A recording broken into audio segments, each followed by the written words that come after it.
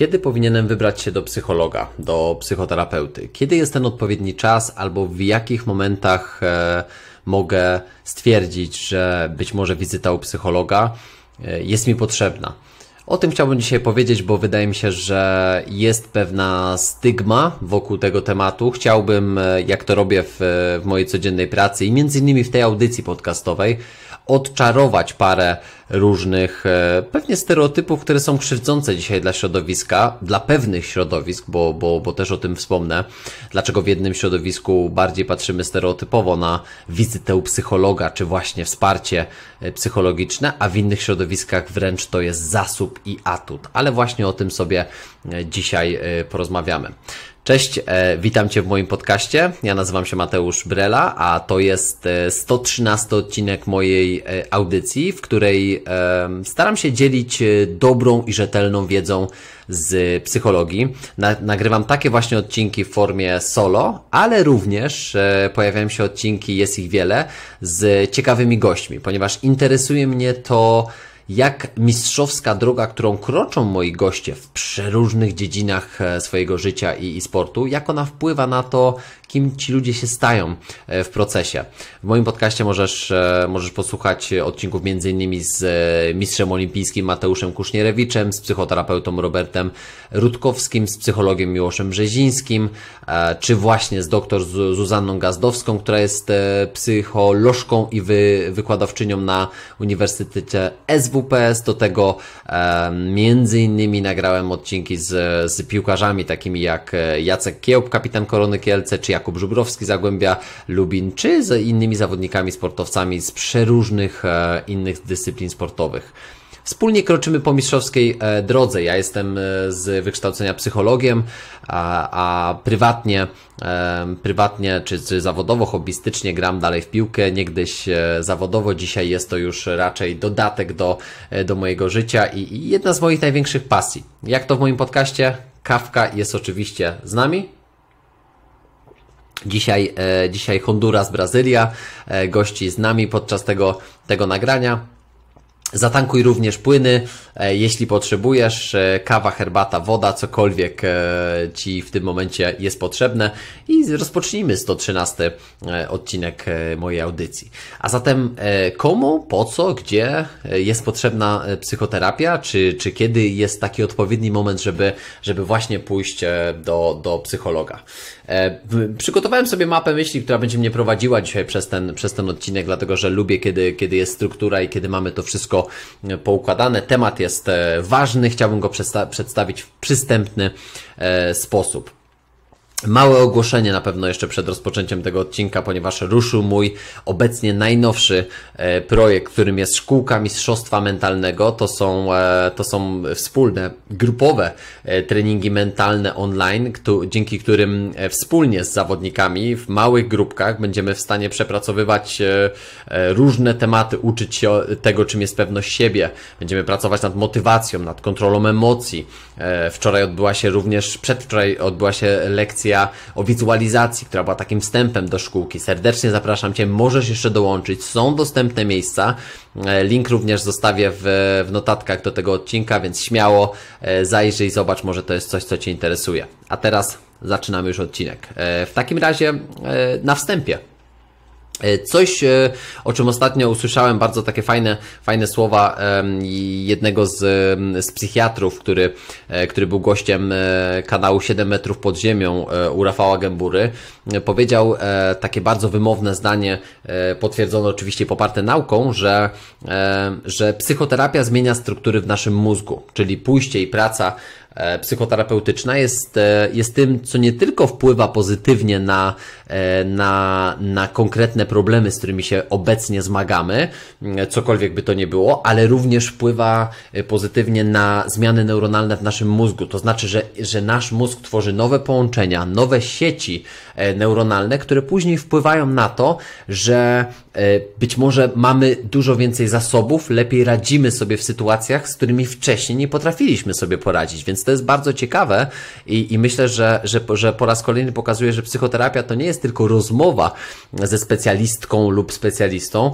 ale daje nam coś więcej, bo jak się okazuje, dobrze przepracowana i przeprowadzona psychoterapia może zdziałać naprawdę cuda. To jest taki pierwszy krok jeszcze przed farmakologią, czyli przed wizytą u, u psychiatry który zazwyczaj posiłkuje się już e, przy jakichś poważniejszych chorobach czy schorzeniach właśnie e, lekami, e, choćby na przykład takimi jak, jak antydepresanty w przypadku takiej choroby, jaką, jaką jest depresja. Więc warto to podkreślić na początku, że, że konsultacja z psychologiem, który później być może może dalej skierować tą osobę do psychoterapeuty lub psychoterapeutki może być czymś zbawiennym na początek. Nie od razu być może wizyta u psychiatry jest czymś, co jest nam potrzebne. Natomiast e, pamiętaj, nie możesz i nie ma sensu się diagnozować samemu lub samej, e, i tym samym dlatego warto jest skorzystać wcześniej już z, z pomocy kogoś innego, bo naprawdę E, bo naprawdę to jest coś, co, co działa. Dlatego idźmy sobie, idźmy sobie dalej e, i, i zastanówmy się, e, i zastanówmy się w jakim, dlaczego i w jakim, w jakim trybie, kiedy możemy wykorzystać właśnie mm, psycho, psycho, psychologa, czy właśnie psychoterapeutę w swoim, w swoim życiu.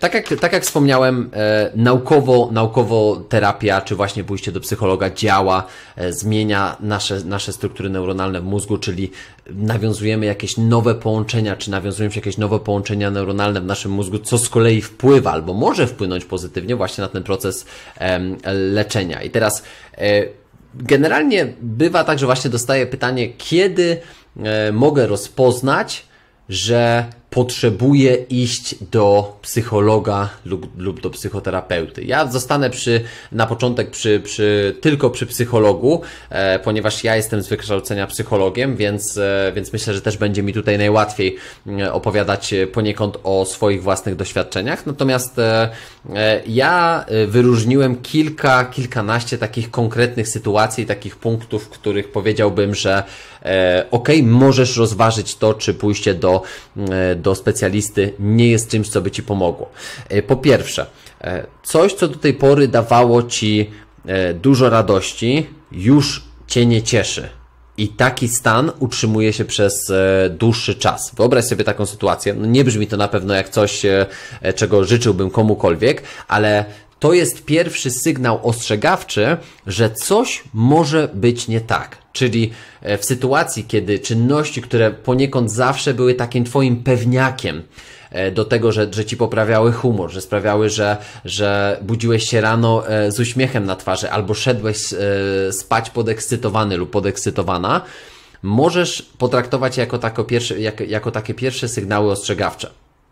I zdarza się tak, że taki stan może się utrzymywać przez kilka dni. Ja sam często się dzielę również tym z, z moimi słuchaczami, słuchaczkami e, w moim podcaście, czy właśnie u mnie na social, social mediach, że ja też miewam czasami takie momenty, kiedy e, no właśnie dopada mnie jakiś kryzys jakaś trudniejsza sytuacja, coś, z czym muszę się mierzyć i co nie jest takie łatwe. Nawet kilka tygodni temu, teraz jakbym pewnie spojrzał w kalendarz, to, to ze 3-4 tygodnie temu, lub na przykład właśnie mój e, kalendarz spotkań z samym sobą e, tutaj, e, to prawdopodobnie byłbym mądrzejszy, bo mógłbym stwierdzić, e, kiedy dokładnie byłem w jakim, e, w jakim momencie w moim życiu. Stąd też te spotkania z samym sobą są czymś, co mi bardzo pomaga mm, i tak właśnie wtedy jestem w stanie odnosić się konkretnie do okresu czasu, w jakim byłem i co wtedy e, odczuwałem. I ja pamiętam ten czas, kiedy e, kilka dni dosłownie miałem, pamiętam takie e, środa, czwartek, piątek to się utrzymywało, ponieważ piątek był taki moment powiedzmy kulminacyjny, czyli taki, kiedy naprawdę czułem się źle, a, ale coraz bardziej miałem do siebie taką akceptację i coraz bardziej jakby, trochę jakby odpuszczałem, czyli mówiłem sobie spokojnie, E, to, to jest stan, który, który minie. Nie musisz się tym przejmować, e, nie musisz, e, nie musisz od razu szukać dziury w całym poniekąd, bo w mojej głowie naprawdę, mimo że, że jestem psychologiem, pracuję z wieloma ludźmi na co dzień, to w mojej głowie pojawiły się takie myśli, a co jeżeli to są początki depresji? I to nie było wcale jakieś nieuzasadnione, bo e, to jak się czułem, gdyby to się utrzymywało przez, nie wiem, miesiąc, dwa, no to mógłbym podejrzewać, że coś naprawdę się dzieje w moim życiu. Bo taki stan, jaki ja odczuwałem, jest poniekąd takim e, właśnie początkowym, e, który, który właśnie możemy nazwać właśnie takimi początkami, czy lekką, lekką depresją. Natomiast ja te stany u siebie już rozpoznaję. Wiem, że to był czas, w którym może trochę brakowało mi zasobów, e, może trochę e, miałem taki, no właśnie, taki po prostu trudniejszy czas sam, sam ze sobą, z którym sobie sam po prostu musiałem poradzić.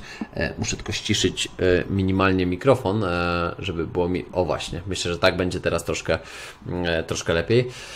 E, ale tak, e, to był taki czas, w którym naprawdę moje zasoby były mocno e, nadszarpywane i, i mówiąc szczerze, mm, no to ja rozpoznawałem u siebie właśnie ten, te trudy mm, tego, co się, co się w tym momencie u mnie, u mnie działo i to nie był stan, który mi, powiem szczerze, odpowiadał i ja dzisiaj wiem, że to był stan przejściowy. Ja sobie dzisiaj zdaję z tego sprawę, że potrzebowałem dobrej jednej, dwóch nocy snu, potrzebowałem odbudować te moje mm, zasoby w ciągu, w ciągu jednego, dwóch dni i wróciłem do siebie. Wysiłek fizyczny, wtedy akurat e, rozgrywałem mecz sparingowy i automatycznie odżyłem. Tak? I teraz odżyłem tylko dzięki temu, że e, może nie tylko dzięki temu, ale miałem też pełną taką otwartość do samego, do samego siebie. Co to znaczy, miałem pełną otwartość do samego siebie? To znaczy, miałem pełną akceptację pełną akceptację na to, że muszę cały czas sobie tutaj kontrolować ten, e, ten dźwięk, żeby nie było za głośno, bo wydaje mi się, że, się, że potencjalnie mogę się trochę drzeć, ale to nie ma problemu. E, wszystko potem przyciszę w procesie tworzenia. E, więc miałem takie poczucie, że, że wiem, jak odbudować te moje zasoby, ale czasami nie ma czy, czy osoba taka, która nie ma wiedzy psychologicznej, może do końca nie wiedzieć, w jaki sposób odbudować swoje własne zasoby. E, więc powiedziałbym, że wtedy, kiedy zaczyna ci się takie, e, taki stan, którego do końca nie znasz, może nie rozpoznajesz, czy właśnie jest to może e, takie, takie, takie, to są takie czynności, czy pojawiają się takie czynności, które normalnie sprawiały ci radość, tak jak wcześniej powiedziałem, a teraz nagle jakby coś pękło to to może być pierwszy sygnał, że warto się z kimś skonsultować. Pamiętaj, zacznij najpierw od takiego bliskiego środowiska. Pod, niech ci ktoś podpowie, niech podpowie ci ktoś z twojego najbliższego grona, komu ufasz, komu, z kim zawsze możesz porozmawiać, a dopiero potem e, zastanów się i poszukaj być może e, właśnie pomocy i zgłoś się do, do specjalisty lub specjalistki. E, żyjemy w ogóle dzisiaj w takich czasach, w których stres, lęk uogólniony, napięcie, oczekiwania, presja są ogromne. Generalnie żyjemy w świecie, który jest bardzo przebodźcowany. I teraz e, jednym z elementów, z którym czasami ciężko sobie poradzić w tym przebodźcowanym świecie, jest tak zwany stres e, i lęk uogólniony. E, I teraz te dwa elementy są, są poniekąd związane z tym, że ciągle czujemy napięcie. Tak jakbyśmy przechodzili z zadania na zadanie i w każdej chwili czujemy takie napięcie i towarzyszące nam, e, to towarzyszące nam również fizyczne doznania, które są związane z tym, że nie potrafimy się rozluźnić. Poniekąd wpadamy wtedy też w taką zadaniowość w ciągu dnia, co wiąże się często z tym, że e, no nie potrafimy e, w tych zadaniach też być pełni obecnymi, dlatego że trochę jakby idziemy takim autopilotem odhaczając e, i te silne doznania w ciele, jak na przykład jakieś bóle brzucha, może może, może chęć wymiotów, a, a może ciągłe skoki na przykład y, cukru w naszym organizmie, które są często zajadane słodyczami i zapijane kawą, prawda? To akurat teraz pokazuje kawę, ale, ale jakby no, ja tą kawę piję w okolicznościach, kiedy jestem naprawdę e, podekscytowany, ale również zrelaksowany, w dobrym nastroju, więc jakby to też jest inne e, konsumowanie kawy no, czuć ten Honduras i Brazylię, bo to Honduras to takie, mm, takie owoce powiedziałbym trochę kwaskowe, e, no, ale to jak zawsze wpadamy w dygresję. Mm, I w momencie, kiedy pojawia się ten stres i lęk uogólniony, taki stres chroniczny, który trwa przez dłuższy czas, czyli de facto wstajemy rano napięci, cały dzień idziemy z tym napięciem i wieczorem również to napięcie nam towarzyszy, no to oczywiście to będzie wpływało na nasze zdrowie, bo mm, pierwsze, co się może pojawić, to być może na przykład jakieś e, reakcje skórne, typu na przykład e, najprościej potocznie mówiąc, pryszcze, które wyskakuje nam w różnych, w różnych miejscach. Być może opryszczka, która też jest jednym z sygnałów na przykład osłabienia organizmu. Mogą to być po prostu przeziębienia częściej pojawiające się, które towarzyszą i utrzymują się przez dłuższy czas niż, niż standardowo. Mm, I w takich sytuacjach oczywiście ja na pierwszym miejscu mówię, że dobre zarządzanie napięciem w swoim życiu, dobre zarządzanie e, też poniekąd swoim, e, swoją taką codziennością, czyli wprowadzanie na przykład praktyk oddechowych o poranku i wieczorem, które poniekąd zamykają nam ten cały dzień, e, są czymś bardzo, bardzo fajnym. E, po drugie na przykład e, coś, co coś, co pomaga też nam e, wiecz wieczorami szczególnie, tak? Wyłączanie się z sieci, nieużywanie internetu, niestymulowanie się i bodźcowanie dalej social mediami. To jest coś naprawdę, naprawdę ważnego, bo, bo ja uważam, że w, w sytuacji, kiedy kiedy e, przychodzimy napięci z tego napiętego dnia, to też słuchajcie, mówiłem o tym w odcinku 112, e, do którego możesz się cofnąć, w którym opowiadałem o pięciu sposobach na ciągłe zmęczenie. Mówiłem o tym, że jeżeli ciągle jesteś napięty lub napięta, do tego dokładasz jeszcze dodatkowy stres fizyczny dla ciała przez intensywny trening, którego być może w ogóle nie potrzebujesz, to to wszystko się nawarstwia, więc być może, że potrzebujesz utrzymywać ten balans yin i yang, prawda? Czyli czyli białe, czarne, ciche, głośne, światło, mm, noc, e, ponieważ ten balans musi być utrzymany pomiędzy układem nerwowym przywspółczulnym, a przy, e, pomiędzy układem współczulnym. Potrzebujesz relaksu do stresu. E, jeżeli jest ciągle stres, stres, stres, stres, to jest niezdrowe dla naszego, dla naszego organizmu. Jeżeli nie potrafisz sobie sam lub sama z tym poradzić, to też może być symptom i taki powód do tego, by skonsultować się ze specjalistą, bo być może jest coś, co może Ci pomóc zarządzać tą Twoją e, codziennością. E, ciągłe przemęczenie to też jest jeden z tych elementów, ale pamiętaj, zajrzyj najpierw do odcinka 112, żeby się przekonać, e, jak poradzić sobie w prosty sposób, e, czy jakie proste e, triki zastosować w ciągu dnia, które być może staną się Twoimi codziennymi nawykami, żeby poczuć się mm, lepiej. E, ciągłe popełnianie tych samych błędów i tutaj zaznaczyłem sobie jakby to, to zdanie jednych i tych samych. To jest bardzo ważne, dlatego że, że taka praca, mm, praca człowieka samego ze sobą to jest często praca na błędach, czyli wyciąganie wniosków z, z popełnionych przez siebie błędów. A często ludzie wpadają w te same błędy, w te same nałogi, w te same e, sytuacje, nie, nawet nie wiedząc i nie zdając sobie sprawy, że są uwikłane, te osoby, prawda, e, są uwikłane w jakiś konkretny problem, e, w jakiś nie chcę powiedzieć system, ale powiedziałbym jakiś taki e, nieprzepracowany temat być może ze swojego życia, a może to jest coś, co głównie teraz po prostu jest w Twoim życiu problemem, e, ale nie wiesz, jak sobie z tym poradzić. Jeżeli złapiesz się na tym, że po raz kolejny popełniasz ten sam problem, na przykład, na przykład problem z kłamaniem, to jest, wydawałoby się taka błaha rzecz, ale jeżeli ciągle masz takie poczucie, że nie wiem, musisz zmyślać, nie możesz, nie, nie jesteś w stanie powiedzieć prawdy,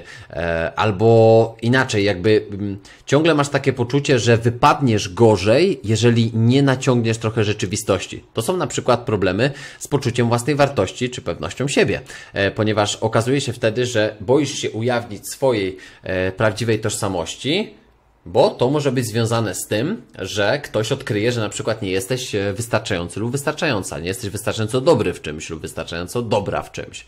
E, więc to są takie pierwsze sygnały też, które pokazują, że hej, może tu jest jakiś problem, bo e, ja często dostaję takie zapytania i takie, e, i takie wiadomości, maile, które są właśnie związane z tym, że Nigdy nie byłem u psychologa, e, nigdy, nigdy nie brałem udziału w tego typu spotkaniu. Natomiast czuję, że w moim życiu mogę rozwiązać jakieś problemy e, swoje prywatne, że trochę życie mnie w jakiś sposób przy, przy tym momencie przytłacza, że jest mi ciężko, że nie mogę sobie poradzić z niektórymi e, rzeczami i, i naprawdę zdarzają się takie sytuacje, że ktoś po prostu mi pisze, czy to jest dobry moment, żeby, żeby umówić się z Tobą na sesję. Okej, okay, jak najbardziej zapraszam. Ja też zawsze od, jestem otwarty na, na pierwsze sesje konsultacji, a jeżeli po nich stwierdzę, że problem wykracza poza, poza granice moich możliwości, to automatycznie od razu odsyłam kogoś e, dalej, czy to do psychoterapeutów właśnie, czy dalej do psychiatrów. Takie przypadki już oczywiście miałem, bo uważam, że nie ma co E, nie ma co też, e, e, jeżeli nie jestem w stanie pomóc, to mogę skrzywdzić, więc, więc taka jest moja przynajmniej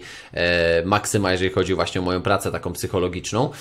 Ale uważam, że to są sytuacje, w których, w których nie bój się też pytać, bo, to, bo ten strach często i ten lęk wynika z tego, że nie wiemy jak zapytać, nie wiemy kogo zapytać, więc myślę, że, że, że też właśnie mój podcast jest takim, takim źródłem bezpłatnej wiedzy, która pomoże Ci znaleźć właśnie te informacje i odpowiedzi być może na takie nurtujące Cię pytania. Nie wiesz, gdzie zapytać, to choćby zapytaj mnie, tak? E, ja chętnie może Ci polecę, czy to specjalistę, czy specjalistkę, albo po prostu powiem, hej, spróbuj tutaj, tak? E, często właśnie osoby piszą do mnie, hej, słuchaj, mieszkam w takim i w takim mieście, czy pomożesz mi znaleźć specjalistę? Tak? Bardzo często wtedy kieruję do, e, do, do kilku takich sprawdzonych przeze mnie wyszukiwarek, miejsc, które pomagają dobrać specjalistę do, do, do potrzeb.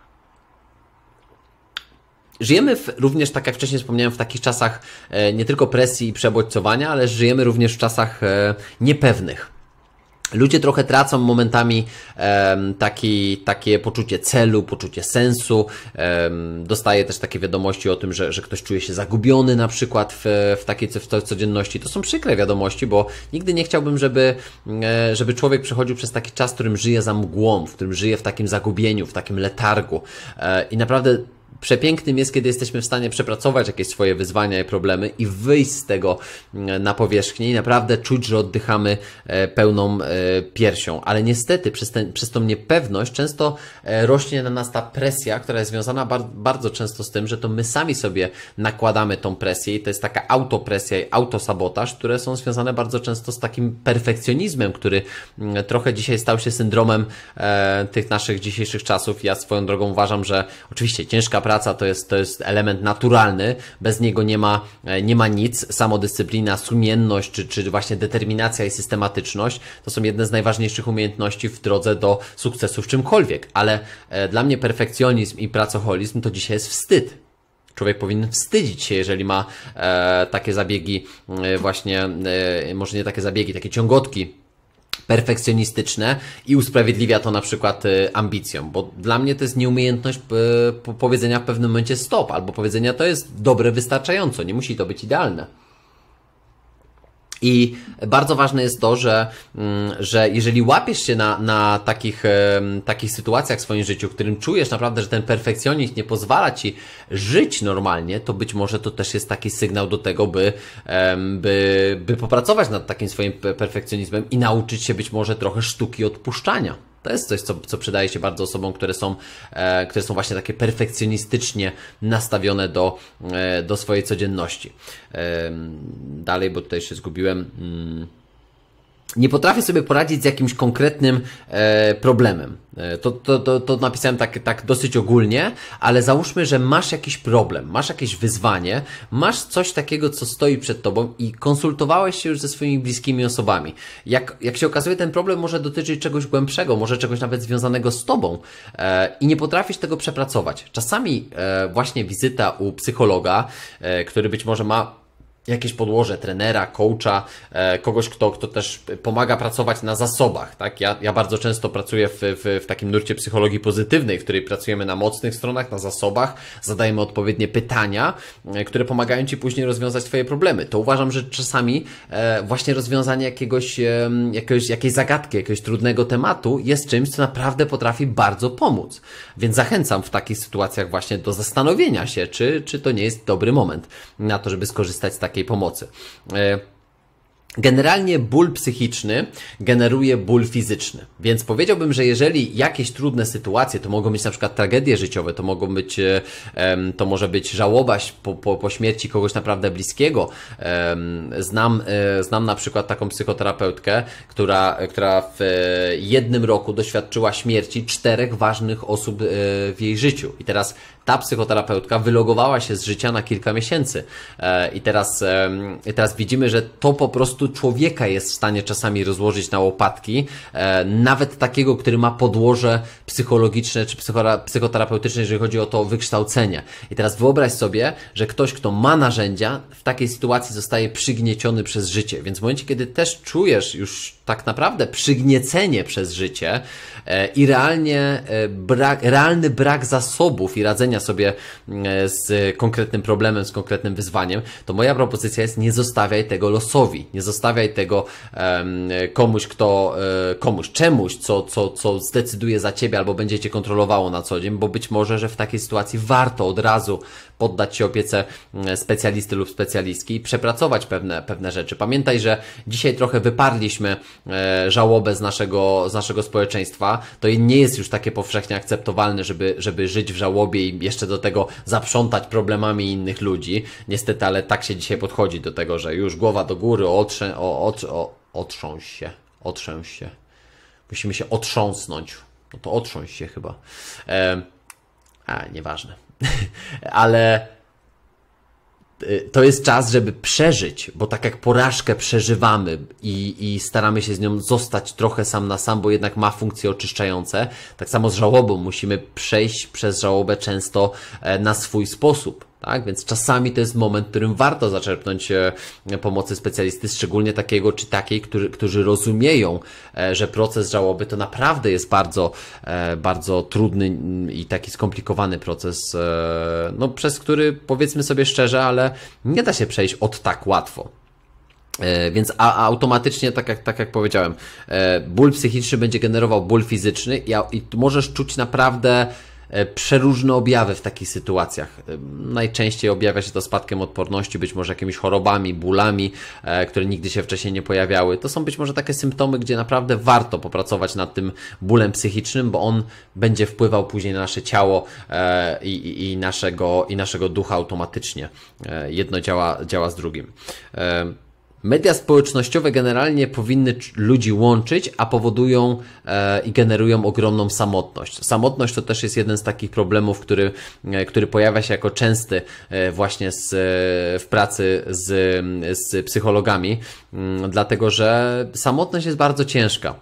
Bycie samym, a bycie samotnym to są oczywiście dwie różne rzeczy, ale e, znam ludzi, którzy borykają się dzisiaj z samotnością, e, przepracowują to, przepracowują to właśnie na swoich terapiach, e, bardzo dzielnie nad tym pracują, ale nie możemy powiedzieć, że dzięki social mediom, wiadomo, że dzięki social mediom łączymy się ze światem, ale z automatu nie możemy założyć, że ktoś dzięki temu, że jest połączony ze, ze światem w social mediach, no to już z tego tytułu nie jest samotnym, bo bardzo często to jest niestety ale tylko złudne poczucie bycia z kimś, a realnie nie ma mm, prawdziwej relacji. A tak jak pisała Susan Pinker, e, kontakty w twarzą, twarzą w twarz są tym, co, co sprawia, że żyjemy dłużej, że jesteśmy szczęśliwsi, e, że spada e, między innymi prawdopodobieństwo zachowania na takie, takie choroby jak właśnie depresja, w momencie kiedy jesteśmy, jesteśmy z ludźmi twarzą w twarz i tworzymy z nimi głębokie relacje.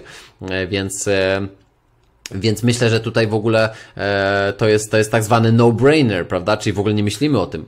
Jakby budowanie relacji twarzą w twarz jest jednym z tych najbardziej terapeutycznych e, elementów, które możemy wykorzystać. Więc pamiętaj, że jako pierwsze warto zgłosić się do swoich bliskich, e, poprosić ich, żeby byli z Tobą porozmawiać, być może wyjechać gdzieś z bliskimi, zmienić otoczenie, ale być z ludźmi. Czasami oczywiście po, potrzebujemy takiego czasu sam na sam, ale powiedziałbym, że częściej niż rzadziej e, bliscy potrafią naprawdę wpłynąć na nas terapeutycznie.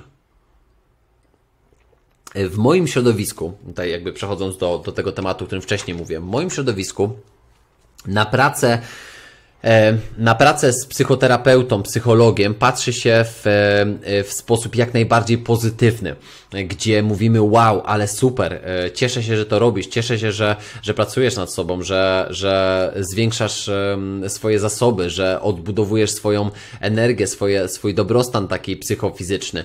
My tak reagujemy w moim środowisku psychologów, czy to ludzi właśnie zainteresowanych tym, tym tematem, na kogoś, kto powiedział hej, poszedłem na terapię, albo hej, wróciłam do terapii. Natomiast Natomiast e, istnieje oczywiście cały czas taka, taka stygmatyzacja e, wśród ludzi, którzy mówią, że o, byłem u psychologa, a co ty głupi jesteś? E, albo o, wybrałem się do, do, do psycho, psychoterapeuty, a co ty psy, psychiczny jesteś? To są często takie stereotypy, które są krzywdzące w społeczeństwie. No i jednak pójście do psy, psychologa raczej ma taki wydźwięk pejoratywny w porównaniu z, z tym, jak to jest na przykład u mnie w, w, w środowisku. I ja staram się walczyć z tym stereotypem, bo ja uważam, że każdy, kto zdecyduje się na pójście do psychologa, psycholożki, książki, e, jest de facto jedną z najodważniejszych osób pewnie w swoim środowisku i nie boi się powiedzieć tak, poszłam do psychologa, tak, byłem u psycholożki. pomogli mi. Okazuje się nagle, że, że to nie jest ujma i to nie jest coś negatywnego, wręcz to jest praca nad sobą. To jest jak idę do, do trenera rozwoju, czy do trenerki e, od prezentacji, e, od prezentacji wystąpień publicznych, tak samo idę do psychologa, bo chcę się stawać lepszym. I, i walcząc z tymi stereotypami, myślę, że trzeba pokazywać właśnie to, że to jest normalne, że czasami sobie z czymś nie poradzimy. E, druga e, strona, druga jakby druga połówka, małżonek, czy, czy małżonka, czy dziewczyna, czy chłopak, e, to nie są często, e, to nigdy nie są dobre osoby do, do terapeutyzowania i do, do przeprowadzania konsultacji psychologicznych. To, że ja jestem, ja jestem psychologiem, to nie oznacza, że i w jakikolwiek sposób kiedykolwiek terapeutyzuję moją narzeczoną, bo to nigdy by nie zagrało. Moja narzeczona pracuje ze swoją psychoterapeutką. Ja mogę jedynie coś czasami podpowiedzieć, jeżeli zadaje mi pytania, to jednak jest jakby ten kontakt twarzą w twarz, my się przyjaźnimy w naszym związku, więc rozmawiamy sobie o wszystkich rzeczach szczerze.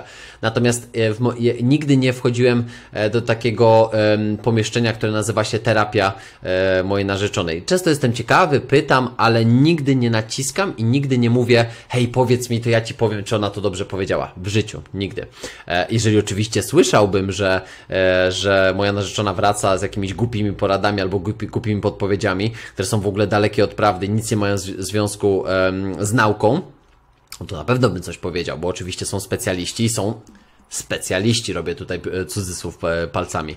E, więc jak w każdej dziedzinie trzeba, trzeba o tym pamiętać. I ja właśnie o, o takie pokonanie, mm, o takie przekonanie walczę. Ten psychiatra, o którym wcześniej mówiłem właśnie z tego odcinka 7 metrów pod ziemią, mówił coś takiego fajnego, że, że, że często nawet szpital psychiatryczny, który ma już w ogóle taką negatywną re, renomę, jest tym, co ratuje życie pacjentowi, bo wyciąga go z jego toksycznego środowiska, bo czasami ja mówię o kontaktach twarzą w twarz, ale czasami to twoje toksyczne środowisko sprawia, że twój dobrostan psychiczny podupada, co oczywiście, tak jak wcześniej wspomniałem, wpływa również na twoje zdrowie fizyczne. Więc wyjęcie się, wylogowanie się ze swojego środowiska może być naprawdę zbawienne. To też jest coś, co ja bym poradził, e, abyś sprawdził lub sprawdziła, bo wydaje się czasami, że jesteśmy w fajnym, e, dobrym, wspierającym środowisku, dopóki się z niego nie wylogujemy. A, więc to też jest taki element, na który warto warto zwrócić uwagę. Bez wyjścia czasami z konkretnego miejsca, przeprowadzenia się, wyjechania, zmiany na przykład, e, nie wiem, znajomych choćby, e, nie jesteśmy w stanie zmienić swojego e, położenia. Czasami są takie chore na przykład relacje i związki, które, w których mąż i żona się rozeszli, czy małżeństwo się rozeszło, a na przykład dalej mieszkają ze sobą i to często jest bardzo toksyczne i przede wszystkim dla, dla nich z osobna, ale również na przykład na dzieci, jeżeli, jeżeli takie się pojawiły w, w, w tym konkretnym związku. Więc y, praca, y, o, którą, o której powiedziałem teraz, to są takie, takie praca, y, o której mówiłem, to jest praca na problemach. Ale ja również wyróżniam, wyróżniam kilka takich elementów przyjścia do psychologa takich etapów przyjścia do psychologa, w których chcę popracować na swoich zasobach, czyli chcę rozwinąć swój potencjał, chcę zrobić e, coś więcej w swoim życiu, chcę się rozwinąć w temacie e, na przykład e, koncentracji, chcę lepiej kontrolować stres w swoim życiu, e, chcę na przykład uzbroić się w narzędzia, które pozwolą mi być lepszym ojcem, lepszą matką, lepszym prawnikiem, lepszym lekarzem. I to mówimy o takich bardziej na przykład miękkich sferach. Więc zauważ, że to nie jest tylko idę do psychologa, bo mam problem, tylko idę do psychologa, bo chcę stać się lepszym. Ja bardzo walczę o to, aby środowisko, e, przynajmniej ten mój świat, wokół którego się mm, e, o, o, otaczach, otaczam, chciałbym, żeby, żeby w tym moim świecie mm, każdy i każda z osób, które spotykam, miała takie przeświadczenie, że pójście do psychologa to jest coś, co daje mi moc, co mi daje siłę, a nie co mnie osłabia albo jest e, spowodowane tym, że jestem chory lub chora. Bardzo mocno o to walczę i zabiegam. Również pojawia się takie pytanie, to już na koniec, bo, bo tak planowałem, że ten odcinek będzie właśnie miał około 30 minut, troszeczkę mi się przedłużyło, mm, ale, ale też pojawiają się takie pytania związane z tym, jak zachęcać do pójścia do psychologa. Jeżeli na przykład ty w swoim środowisku widzisz, że komuś przydałaby się praca e, z psychologiem lub właśnie z psychoterapeutą, może zauważasz, może ty jesteś w terapii, widzisz, że ktoś by skorzystał z tego. To teraz pojawia się bardzo często pytanie, mm, jak robić tak, żeby tą osobę zachęcić, a, a żeby jej nadmiernie nie zniechęcić, przez to, że chcemy ją zachęcić. Taka gra słów. E, no i teraz e, ja bym powiedział, że, że zacznij od tego, żeby polecić, żeby polecić konkretną osobę, powiedzieć coś dobrego o tej osobie, wysłać jakieś informacje, to już ułatwia na przykład osobie, która, która chciałbyś, żeby skorzystała z pomocy e, psychologa lub psycholożki, rozpoczęcie w ogóle tego procesu szukania, bo już ma na ręce jakiegoś specjalistę, do którego może się zgłosić. Ja tak często mam, że na przykład dostaję wiadomość, że e, mój partner na przykład słucha Twojego podcastu i polecił mi na przykład skontaktowanie się z Tobą e, i wykupienie u Ciebie sesji. Czy jesteś w stanie mi pomóc? I to jest bardzo fajne, bo wtedy wiem, że na przykład ta osoba wykonała już część tej pracy nad sobą i przy okazji poleciła na przykład mnie e, komuś, e, komuś innemu. I to jest wspaniałe naprawdę, e, kiedy tak się dzieje. Natomiast nigdy nie zmuszaj Nigdy nie stosuj żadnych trików, żadnych oszustw. E, słyszałem kiedyś o takiej sytuacji, w której mm, e, e, kobieta z mężczyzną, małżeństwo przyszli do psychiatry, mężczyzna wszedł do gabinetu, no i po pierwszym pytaniu powiedział, a to pan nie jest okulistą?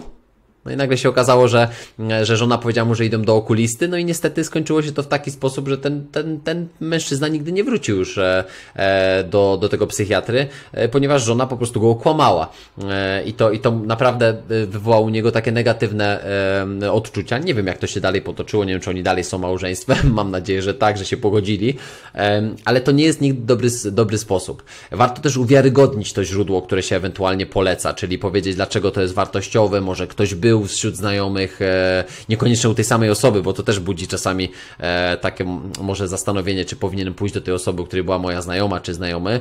Natomiast musisz pamiętać oczywiście, że, że psychologa, czyli na przykład mnie obowiązuje tajemnica zawodowa, no i ja nie mogę powiedzieć e, często z kim i o czym, z kim pracuję i o czym rozmawiamy, więc tutaj jest jakby pełen, pełn, pełna poufność, jeżeli chodzi o o zachowanie jakichś delikatnych informacji.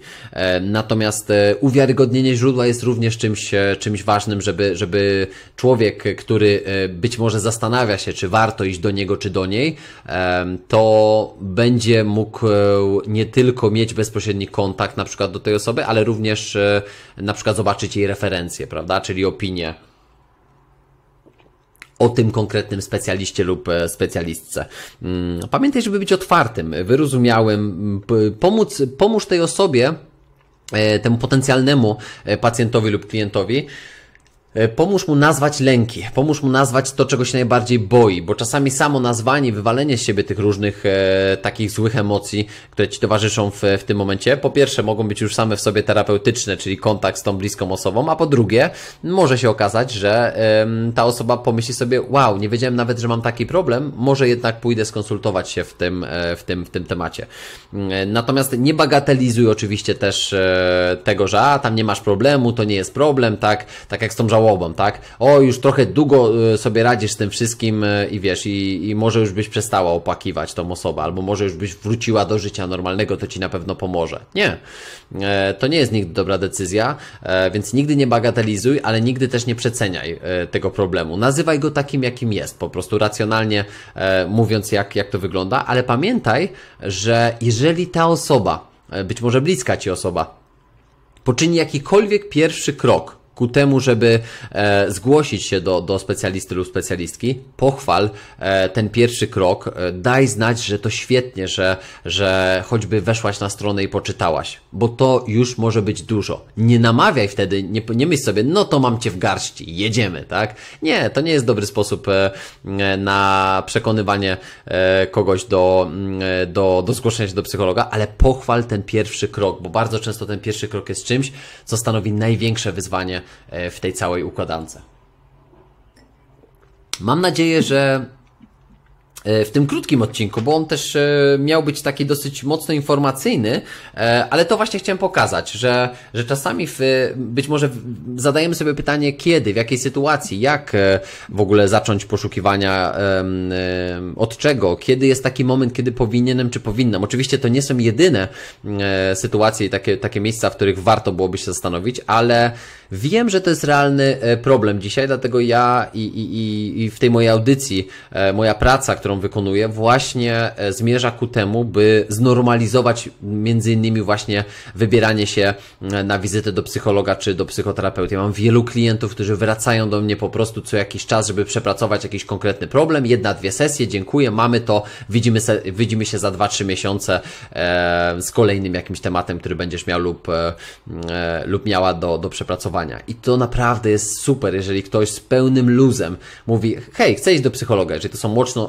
młodsze osoby, to wiem, że często rodzice dzwonią, mówią na przykład, że mój Konrad e, poprosił mnie, czy, czy mogłam się z, z panem skontaktować, bo na przykład chciałby e, wizytę e, u pana. Świetnie. Jakby ja pracuję oczywiście też z młodymi ludźmi, więc zdarzają się takie sytuacje, gdzie to rodzic właśnie jest sponsorem, mm, ale, ale naprawdę zawsze jest dobry moment na to, żeby zajrzeć w głąb siebie.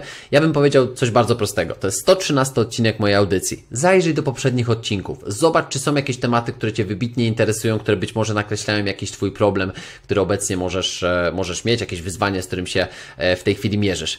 Po prostu zajrzyj tam, po prostu zastanów się, czy to jest jakimś, e, czy jednym z tych elementów, które omówiłem w tym, w tym dzisiejszym odcinku. Tu stawiamy kropkę. Ja Ci dziękuję bardzo, że byłeś e, lub byłaś ze mną po raz, e, po raz kolejny. E, to był 113 odcinek mojej audycji. Za tydzień widzimy się w 114 odcinku. Przypominam, mój podcast pojawia się w każdą środę.